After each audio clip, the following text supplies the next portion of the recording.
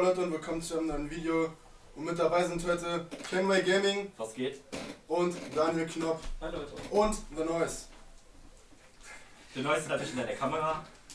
Und ja, wir stellen euch heute unsere Top-Spiele der E3 vor. Das erste Spiel fängt Kenway Gaming an. Ja. Das erste Spiel ist natürlich, auf was ich unheimlich warte, ist Assassin's Creed Origins. Ähm, was mir besonders an diesem Spiel gefällt, eben die, der Kampfstil. Der Kampfstil ist nicht mehr, nicht mehr so wie bei den anderen, sondern frei. Alle Gegner greifen gleichzeitig an. Und natürlich spielen wir, haben wir früher immer mit Schulter, Viereck-Taste so gekämpft. Also Dreieck, äh, Viereck-Taste. Diesmal sind Schultern, also wie bei Dark Souls. Wir haben die Kampfstil von Dark Souls mitgenommen. Ich bin wie ein Gladiator, Schwerter, Schilder. Wir haben eine Drohnenfunktion, zwar äh, ein Adler, Senu heißt er. Ich bin den Assassin Bayak.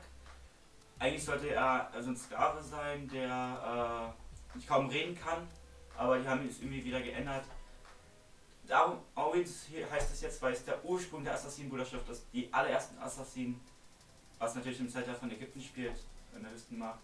Dann natürlich noch richtig geil, wir haben einen Bogen wieder, wir können wieder schön mit Bogen, wie mit Connor, wir können Boot fahren, wieder tauchen können wir richtig, diesmal vorher war immer nur so, so flach, ganz flach unter dem Wasser, diesmal können wir richtig tief. Wir haben einen Tag-Nacht-Zyklus, also ähm, nachts gehen Leute schlafen oder arbeiten, morgens stehen welche auf oder gehen schlafen. Das ist richtig Hammer, richtig realistisch nehmen die auch das alles und ja, das nächste Spiel kommt jetzt. Ja, das nächste Spiel ist God of War. Und das Gameplay sieht richtig gut aus. Kratos hat jetzt eine Axt. Dann sind noch andere Waffen, genauso wie in den Vorgängern. Und ja, ich habe ja schon mal eine Newsfolge gemacht über God of War, über den Sohn oder Sohn von Kratos, wie er heißt. Den Namen weiß ich jetzt nicht mehr. Und ja, ich freue mich echt mega auf God of War. Geht natürlich noch die Gameplays mit im Hintergrund. Und der, der Release zu dem Spiel ist noch nicht bekannt. Ähm, Also ich habe gelesen, dass es im Frühjahr 2018 rauskommen soll. Das heißt irgendwann vielleicht Januar, Februar, März. Oder halt im Sommer oder so. Und ja, ich freue mich auf das Spiel. Und jetzt Ich natürlich auch. mit dem nächsten Spiel Daniel, Daniel Knopp. Ja, ähm, das nächste Spiel ist Pokémon, äh, Pokémon Tournament, Pokémon Tournament. Und äh, ja, es ist auf jeden Fall eine Kombi aus ähm, Pokémon und Tekken. Da gab es ja schon mal eine Vorversion für die Wii U und ähm, man kann auch sagen, in diesem Spiel wird es auf jeden Fall wieder Action geladen. Viele Charaktere haben wir dabei und äh, ja, viele interessante Kämpfe. Das Spiel erscheint am 22. September und es ist auf jeden Fall, denke ich mal, ein Titel, auf den wir uns freuen können, weil das Spiel davor Tekken auch schon krass war. Besonders für alle Pokémon-Fans natürlich. Ja, ja, ja. Ja! Es geht natürlich Star Wars Battlefront 2 geht natürlich drum. Äh, ja, äh, spielt in, den Kanons natürlich in den Hauptgeschichten von Star Wars zwischen von Episode 1 bis hin zu Episode 7. Es gibt neuere Helden und neuere Schurken. Darth Maul ist der eine der Schurken der neuen. Ähm, und der natürlich Kylo Ren, den ich über alles hasse, ist natürlich auch mit drin. Äh, und natürlich auf wen ich mich am meisten freue, ist natürlich Ray, ähm, die diesmal Anakin bzw. Luke Skywalkers Licht, blaues Lichtschwert benutzt. Äh, dann noch Yoda, kann man natürlich auch spielen, den kleinen grünen Zwerg. Ah, Gameplay sieht dann natürlich auch nochmal ein paar Sachen. Ja, der Release natürlich ist am 17.11.2017. Ich freue mich mega drauf. Ich werde es mir natürlich auch vorbestellen. So, das war's. So, jetzt kommen wir zu. Far Cry 5. Ja, Far Cry 5 wurde vorgestellt auf der E3. Und ja, das ganze Spiel spielt jetzt so christliche Sachen, so wie bei Outlast 2. Ist wieder ein Ego-Shooter und hat einen neuen Charakter, wo ich den Namen nicht weiß. Und das ganze Spiel kommt nächstes Jahr raus im Februar, am 27. Februar 2018. Ja, Freunde, jetzt kommen wir natürlich zu einem Spiel, was ich beziehungsweise auch sehr auf, was ich mich natürlich mega drüber freue. Ähm, es war Mittelerde Schatten des Kriegs, die natürlich die Fortsetzung von Mittelerde Mordor Schatten. Äh, am Ende des ersten Teils natürlich sind wir in den, in den Berg, in den Vulkan bzw. Berg gegangen, wo Sauron natürlich den ersten Ring noch geschmiedet hat. Diesmal haben wir einen geschmiedet, der sieht sogar noch besser aus. Ähm, wir spielen natürlich wieder Talion und Celebrimbor, Celebrimbor den Geist. Äh, diesmal Sauron ist der dunkle Herrscher, wir sind der helle Herrscher. Wir Sauron hatte seine eigene Armee aufgestellt. Diesmal können wir natürlich auch unsere eigene Armee aufstellen. Wir haben neue Fähigkeiten. Wir können ähm, mit Bogen, natürlich den Geisterbogen, wir benutzen und dabei letztendlich teleportieren.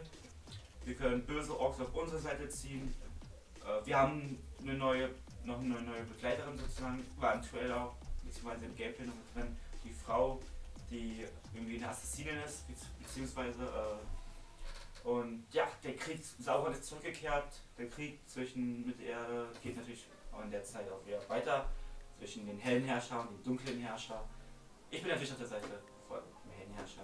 So, der Release ist am 22.08.2017, Freunde.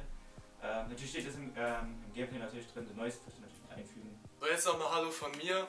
Ähm, jetzt gehen wir sofort wieder weiter zum nächsten Spiel und zwar freue ich mich schon mega auf das Super Mario Odyssey für die Switch. Und das werden wir beide vorstellen.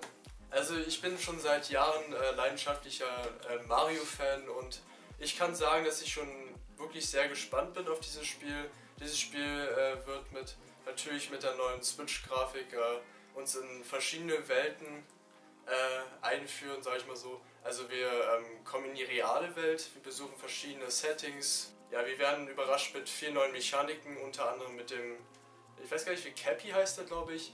Mit dem können wir uns ähm, andere Gegner transformatieren, auch deren Fähigkeiten nutzen. Und äh, was ich ziemlich cool fand, ähm, das seht ihr auch hier jetzt im Trailer, dass wir uns in Dinosaurier verwandeln können, äh, da ich ja auch ein Dinosaurier-Fan bin, leidenschaftlich. ähm, ja, also die haben sich auf jeden Fall was dabei gedacht. Und es ist auf jeden Fall auch äh, eine spannende Sache, weil Mario sozusagen zum ersten Mal in die echte Welt kommt. Ist sozusagen so eine Kombination, ähm, sozusagen abgeleitet von Super Mario 3D World, 3D Land, bloß dass er eben in der echten Welt ist. Und es gibt auf jeden Fall viele interessante neue Gegner auch. Und äh, sehr viele Level in der großen Welt.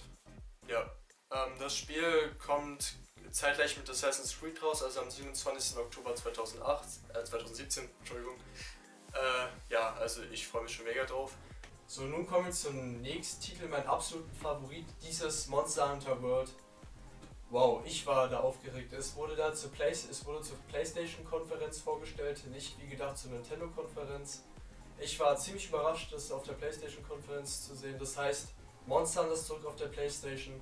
Und das äh, Coole noch dabei, es ist nicht für PlayStation, sondern auch für Xbox One und für den PC. Großes Lob an dich, Capcom, an euch und dich, wie auch immer. Ja, Monster Hunter World ist ähm, quasi Monster Hunter 5, das heißt ähm, ein neuer, neuer Teil der Reihe. Ähm, Monster Hunter überrascht uns mit atemberaubender Grafik, ähm, neuem, neuen äh, Gameplay-System unter anderem, ähm, dass man beim Reiten, was auch wieder dabei sein wird, dass man, wenn man runterfliegt, einen Enterhaken hat, dass man sich wieder raufziehen kann, hier auch im Gameplay-Trailer zu sehen. War auch ziemlich überraschend, es gibt wieder natürlich neue Monster.